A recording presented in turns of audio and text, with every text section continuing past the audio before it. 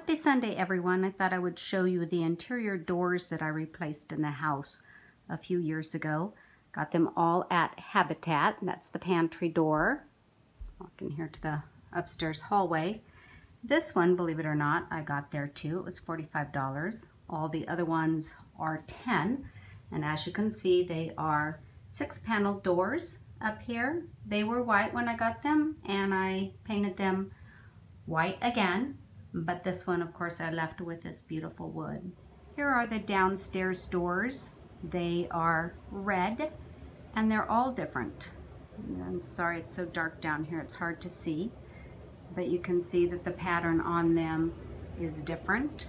There are four doors down here that I've replaced. The laundry room has a door but we took it off a long time ago. So, sorry, see there, it's very dark in here so there isn't a door there but I replaced the, these others. What we had were just your regular contractor doors that looked like they were made of oak, um, but they weren't. And so I've replaced all these. These were $10 a piece at Habitat. The wood door was 45 as I said.